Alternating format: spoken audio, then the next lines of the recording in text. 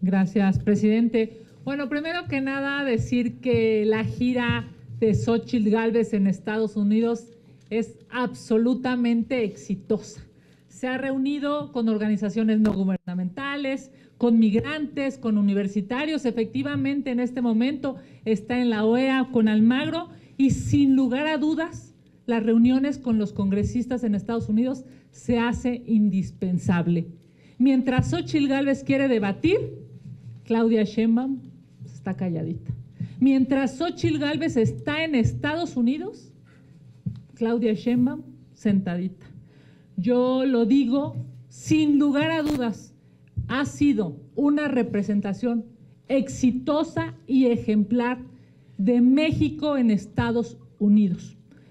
Es claro que para nosotros, para el grupo parlamentario del PAN, resultaba absolutamente necesario reunirnos con Xochitl Gálvez y lo hicimos hoy vía Zoom.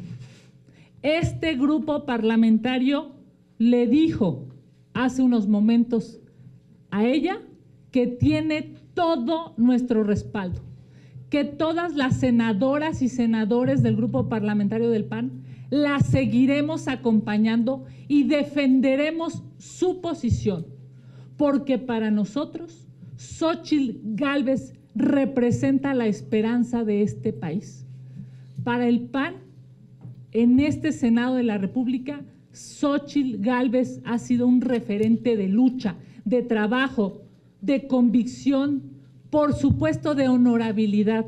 Así es que hay que decirle a Mario Delgado desde aquí, claramente tienen miedo. Claramente operaron esa pequeña manifestación porque están muertos de miedo. Saben en Morena que esto se está cerrando. Nosotros tenemos un tracking y tenemos encuestas. Y cada semana lo que dice la encuesta es que Xochitl Gálvez está subiendo en las preferencias electorales.